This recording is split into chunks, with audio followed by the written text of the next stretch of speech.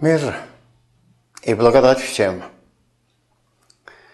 Меня люди знают под именем брат Рейн и Сталина. Мне уже почти 80 лет. Но Господь показал мне свою благодать, милость, свою силу в течение моей длинной жизни. Где-то 30-40 лет тому назад Господь посетил особенным видом своей любовью город Таллин в Эстонии, в Советском Союзе.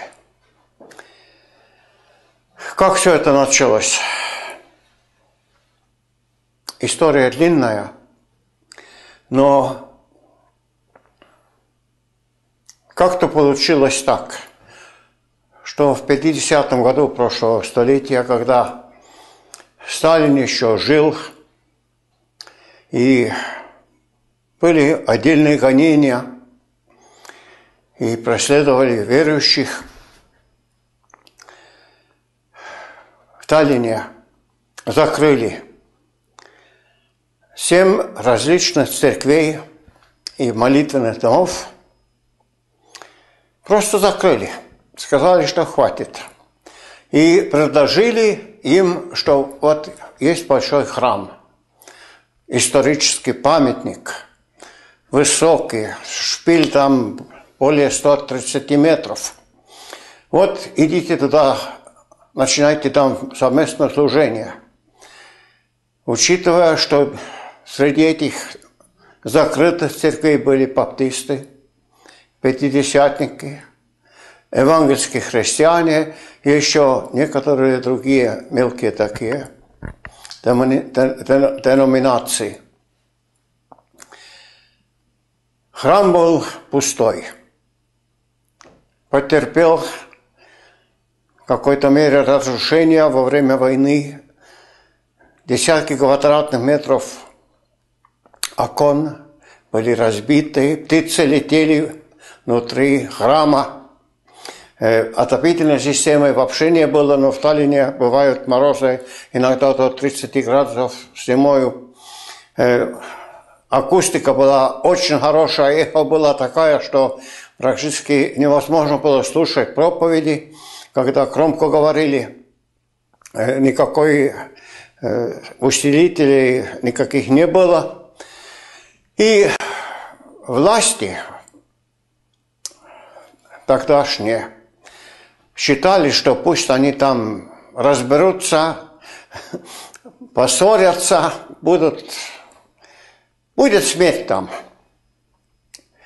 И без всякого такого преследования, гонения церковь скоро закроется.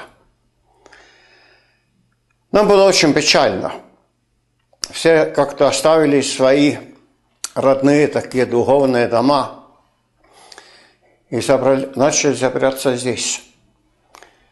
Были хорошие пастора, были хорошие служения, но в 80-х годах, в начале, когда началась подготовка Олимпийским играм в Москве и Таллине должна была регата парусная быть. Как-то нажим со стороны КГБ как-то немножко было легче. И можно было собираться и так далее. Это было внешне. Но внутри я был тогда 30-40 лет моложе. У нас было все очень хорошо. У нас хоровая музыка была на мировом уровне. У нас были самые хорошие пастора, может быть, во всей Прибалтике. И духовная жизнь кипела в этих рамках, которые было позволено тогда. Но чего-то не хватало. Я помню это время, Я тоже был такой не горячий, к сожалению, теплый. Но Господь как-то начал говорить мне. И в ту ночь, когда у меня родился первый сын, сын Господь сказал мне, что Рейн, отдай свою жизнь полностью мне. Я буду с тобою, если ты будешь служить всем сердцем, прославить имя мое из твоего сына вырастет муж Божий. Начал искать Бога. Господь вселил мою душу и в душу некоторых других голод, жажду за Богом. Просто как-то все хорошо, служение хорошее церкви, но, но чего-то не хватает, я бы назвал это такой, как бы сказать, святая неудовлетворенность. Господь, что-то должно быть больше. И мы начали искать лицо Господа. Маленькая группа, сначала 5-6 человек, начали вместе приходить молиться. Потом эта группа выросла, где-то 25-30 человек. Потом стали ночные молитвы. Господь, приди, приди в Эстонию, дай нам что-то, чего не хватает. Ответ был такой, что я наполню вас своим духом – и, и так началось пробуждение, которое, которое потрясло, как в некоторых изданиях говорится, весь Советский Союз. Мы самые обыкновенные люди, простые. Сатана хотел уничтожить такое, ну, передовое христианство в Эстонии. Но вместо этого – Господь излил из своего духа желание прославить имя Его, и Он начал исцелять людей, наполнять Духом Святым, спасти, обновлять. И люди без всякой рекламы, это все было запрещено, начали переезжать в Таллин. Кто видел в сне, что поезжайте в Таллин. Э, епископа, некоторые на Украине видели видение, что надо ехать в Таллин. Там есть такой корабль белый, и, и, и там Дух Святой действует. Так получилось. И как-то, я не знаю как, но Господь присоединил к этой команде, такой передовой команде, которая служил, которые молились, которые молились, которые возлагали руки на больные, разные люди. Я был никто, простой член волевиста. Теплый. Понимаете, я был теплый, который надо просто выплевать из рта. Присоединил сюда лутарианского пастора – крещенный Духом, имеющий дар пророчества. Одного пятидесятника, одного пастора с острова нашего, маленького острова, который имел маленькую церковь, но говорил с желанием служить Господу. Одну сестру, которая была пьяница, которая уверовала, вообще на дне общества.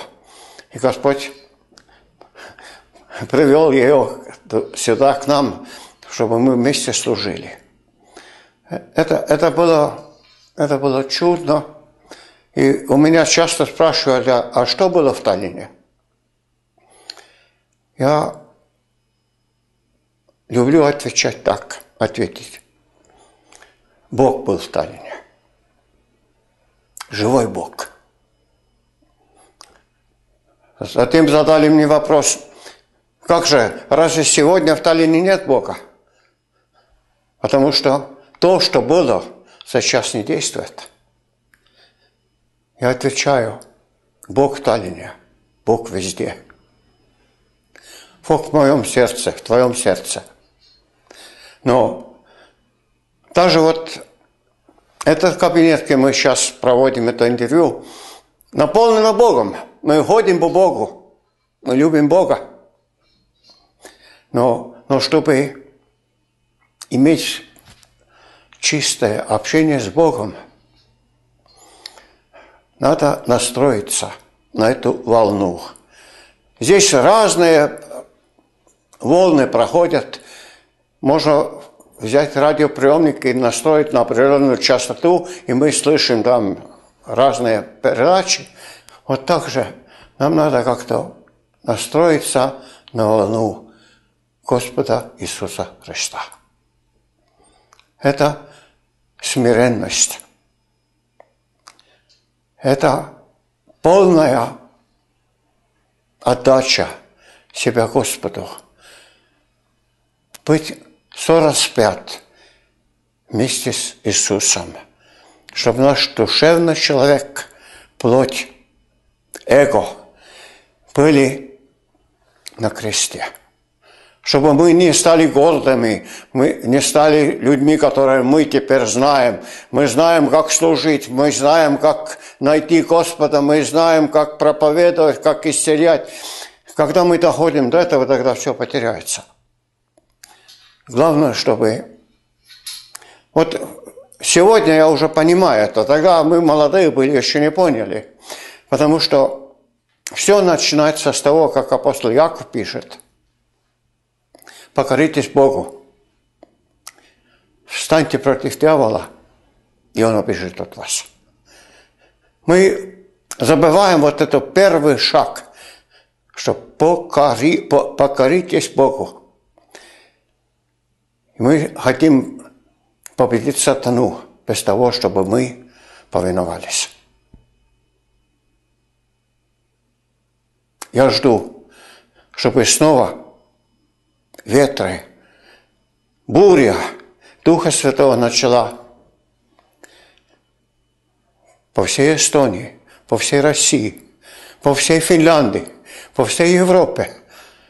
О Господь, мы нуждаемся в свежем ветре, но пока, к сожалению, у тебя не хватает людей, которые согласны быть распятыми, сораспятыми с тобою.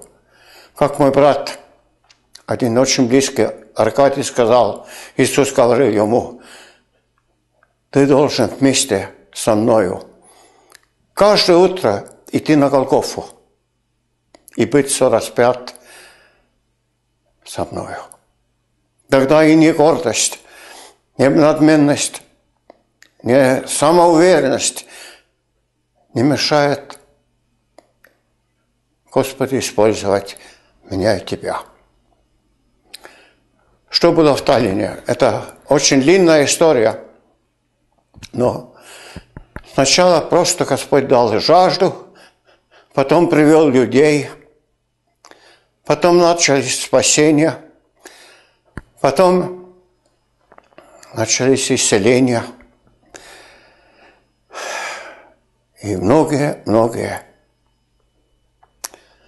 были крещены, наполнены Духом Святым. Слава Богу! Чтобы просто не быть пустословным, такие, такие ну, вещи, которые случались и описанные в Деянии апостолов, это была нормальная жизнь церкви. Если ты спросишь, а что было в Таллине? В Таллине была несколько лет нормальная жизнь Церкви Иисуса Христа. И, к примеру, помню, мы начали собрание, я читал Слово и молился, просто, чтобы Господь приди, благослови нас. И вдруг один По-моему, осет был Петр имя с Кавказа. Начал так это самое, ну, я не понял, в чем дело. Нету, нету, нету, нету, нету. Старается, старается как-то рядом сидела его жена. Я остановился, спросил у жены, что с супругой. И она ответила, что у нее большая опухоль была на шее.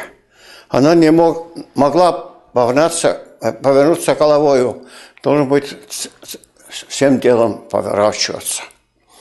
И в один миг он, наверное, почувствовал это, и он стал попробовать руками, нет боли.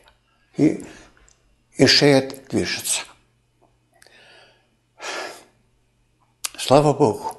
Он уверовал, принял Иисуса, уехал счастливым. Мы молились, были длинные очереди, когда мы молились по несколько часов.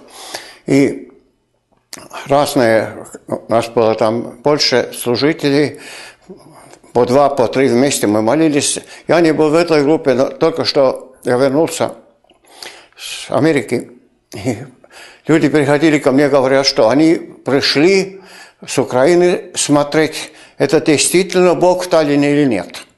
И они стояли двое-трое рядом с теми, которые молились о людей. И они рассказывали, что в их глазах это случилось. Пришла мать девочкой.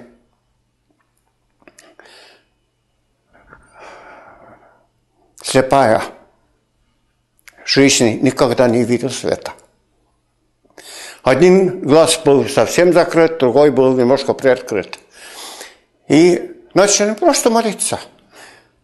Пятидесятники удивлялись, что в Эстонии так тихо, спокойно молятся, не кричат и все. Я не знаю, это, наверное, наша натура такая. И начали молиться. В их глазах этот закрытый глаз открылся. И оба глаза начали с краев стать белее, белее, белее, потому что они были темные. И потом уже совсем белые. И вдруг девочка закричала, «Мама, мама, я вижу!» Это потрясло этих людей, они поехали домой, и практически с многими случилось так, что они продолжали молиться за больных уже на своих местах.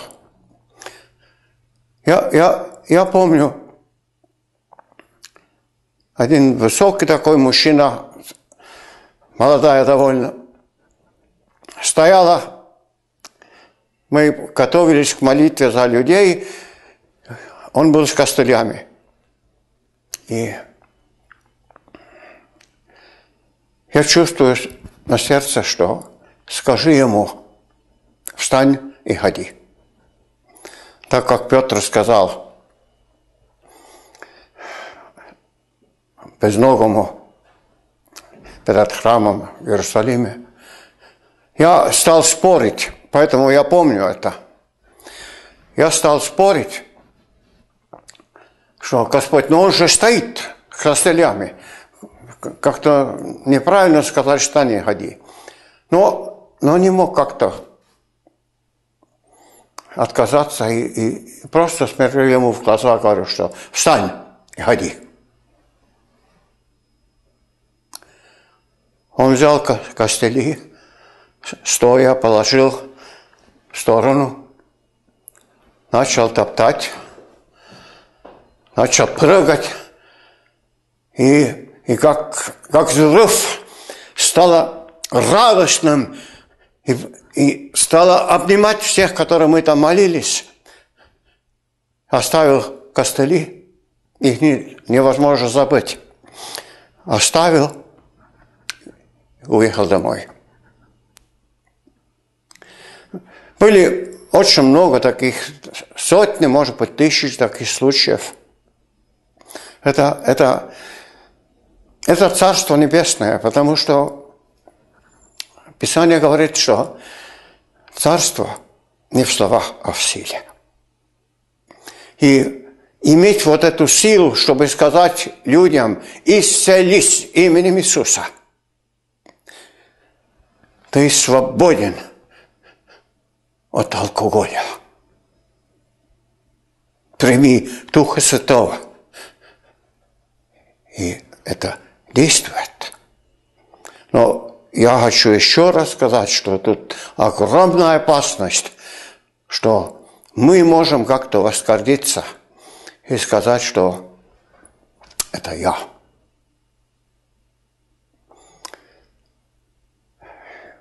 Мертвые не, воскрес, не воскреслись. Я жду этого. С этого времени прошло примерно 30 лет. Но сегодня я верю, что Господь хочет еще излить из своего духа и показать свой авторитет, свою силу, свою любовь к людям. Начиная с тех, которые действительно согласны умереть. Любить Господа Иисуса больше, чем свою жизнь. Всем сердцем, всей душою, всем разумением. И просто в заключение хочу сказать, что во время Второй мировой войны было пророчество. Никто не верил в это время, что в Оливисте среди молодежи будет пробуждение, очень сильное – но появятся пожарники, и огонь потушат. КГБ запретил говорить в Олевисте на русском языке. Но мы практически молились за приезжих. Эстонцы как-то сначала были, потом остались на стороне. Это, это, это вообще анекдот. Советском Союзе, где всем просто насильно нас заставляли учиться и говорить на русском языке, говорит, что нельзя проповедовать на русском языке. Штраф будет, я заплачу штраф за то, что я молился за приезжих в горисполкоме. И, но пожарники КГБ были настолько строгие, сказали, что если не послушаете, это ультиматум был – Тогда закроем церковь, все пастора остаются без лицензии. Я был никто, я был член, был членом. И, и так это погасло.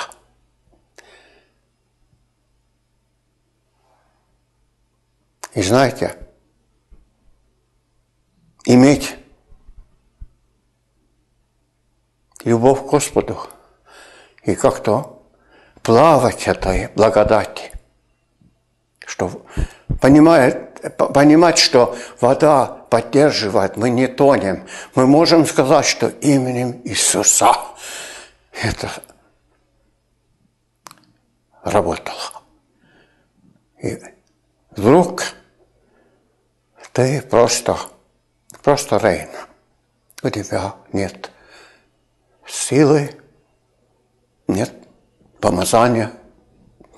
Можешь говорить, делать все то же самое, но присутствие Бога ушло. Я вернусь к этому видению во время Второй мировой войны. Там было, что появятся пожарники, потушат огонь. Но через определенное время пламя снова вспыхнет. И будет сильнее, чем это было. Сегодня я верю, что мы живем в последнее время. Часы времени у Господа – это Его народ, Израиль. То, что происходит сегодня в Израиле, когда все друзья как-то отходят и оставляют их во власти своих врагов. То, что Захарий 14 глава говорит, что, что случится там, прочитайте, Это, это вот-вот-вот-вот. Уже времени больше нет. И, и, и я верю, что Господь хочет еще проявить свою силу, благодать свое помазание среди своей церкви перед тем, как Он вернется. Дай Бог нам смириться. Дай Бог нам искать Его всем сердцем. Не смотреть на то, сколько это стоит. В Лаудикейской церкви Иисус сказал, купите золото, это вера, купите, купите одежду белую и мазь для глаз, чтобы вы видели, купите. Это значит, это что-то стоит. Мы имеем время. У нас есть какая-то сила физическая, духовная. У нас есть способность видеть с духовными глазами дела Божие. Но это стоит. Стоит платить за это, чтобы заиметь веру и видение, и чистую одежду, и в чистое сердце, чтобы узнать Бога и увидеть Его славу на этой земле. Слава Господу! Приди, Иисус! Найди больше тех людей, которые согласны отдать все за то, чтобы Ты мог проявить свою славу. Господь, прости мне, что я когда-то предал Тебя. Согласился с предложениями КГБ вместе с другими братьями, и мы закончили практически проповедь на русском языке. Прости нам, Господь. Приди еще раз. Благословляю вас. Ищите Господа. Господь не любит. Господь любит, но Он выплевывает теплых. Зажги этот свет Духова, Духа Святого. Иисус сказал, что я пришел не свести огонь, и как бы хотел, чтобы это возгорелось. Аллилуйя. Слава нашему Господу Иисусу Христу. Аминь.